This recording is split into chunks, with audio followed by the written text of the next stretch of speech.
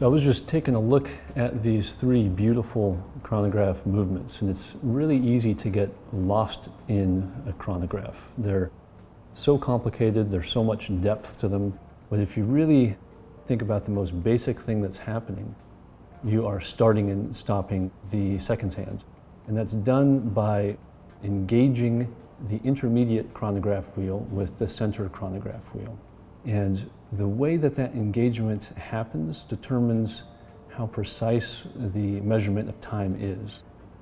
So the Lange does it kind of in the most traditional way. It has an intermediate chronograph wheel with large teeth, and the center chronograph wheel has very, very fine teeth. And what that does is it allows for a quick and easy engagement between the two wheels and gets the seconds hand started in a very smooth fashion. So if these are the two gears that are meshing, we have the intermediate chronograph wheel and the center chronograph wheel. When they mesh, they're going to come together and the intermediate chronograph wheel is going to drive the center chronograph wheel. So that's a smooth mesh right there.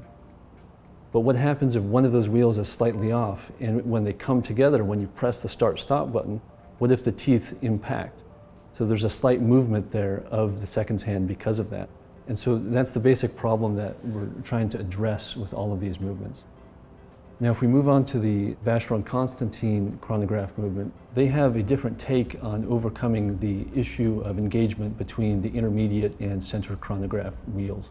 What they've done is they've mounted coaxially a steel wheel directly below the intermediate chronograph wheel. That steel wheel has very fine teeth and it meshes very precisely with the center chronograph wheel.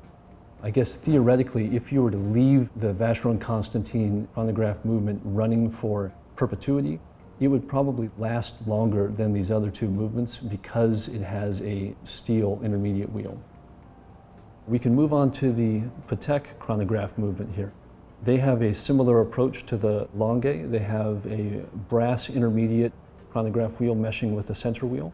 And what they've done is developed a very unique tooth profile to the intermediate wheel. And it's done to promote engagement. It's done to promote a smooth transmission of power. And it's also something very interesting to see. The one that really appeals to me the most from a technical perspective is the Vacheron Constantin. The solution that they've come up with with this coaxial steel wheel is pretty cool. And beyond that, a monopusher chronograph is technically a lot more difficult to, to put together and to get working well. With that being said, the pusher on this Vacheron Constantin is not working too well right now. When you start and stop it, it's definitely much stiffer than the Lange and the Patek. But it's one of those things that can be adjusted, that can be fixed. So I'm confident that eventually we'll see the pusher mechanism on the Vacheron Constantin working in a much more smooth manner. But yeah, if, if I were to look at all three of these movements just from a technical perspective, the Vacheron Constantin is what really jumps out at me.